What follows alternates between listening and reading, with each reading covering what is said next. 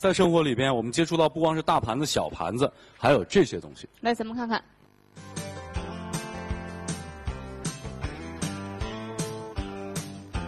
那问问大伙儿哈，您平时在逛超市的时候，会买这种独立的小包装的呢，还是会买这种家庭装的食品啊回家呢？如果您要是选这个小包装的，就把小盘子举起来；如果您是买这种大包装的、实惠的家庭装的话，就把大盘子举起来。来，请亮盘子。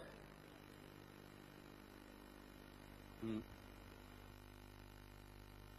为什么选择大包装？大包装便宜、实惠、方便。我愿意选择小包装，吃了我再买，比较食物比较新鲜，防止食物变质、风干。来，王老师，人们啊，呃，都倾向于买这种家庭装或者说大包装啊这样的食品回家啊。嗯。呃，这有呃非常复杂的原因。首先就是人的一个本能，呃，就是呃呃不是，呃人的本能是呃要占有更多的东西，把这个东西都拿回家。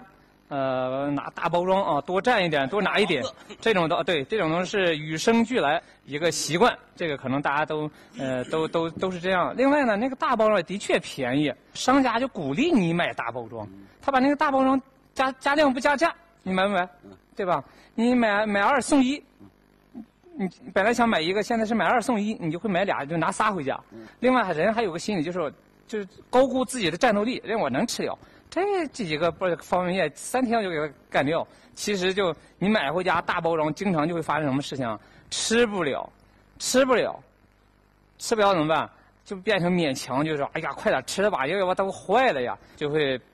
自觉不自觉就催着自己快把它吃掉，但是就会导致我们身体吃了很多你不需要的东西，吃的太多就是发胖的一个非常非常重要的原因。嗯，那王老师就像现场一样哈，很多人他情不自禁的已经买了很多家庭装这种大包装的食物了，他们应该怎么办呢？最好的办法就是分别人一点，如果里面还有小包装是打包的话啊，嗯，那可以把大的包装拆开，把小的包装呃就分散。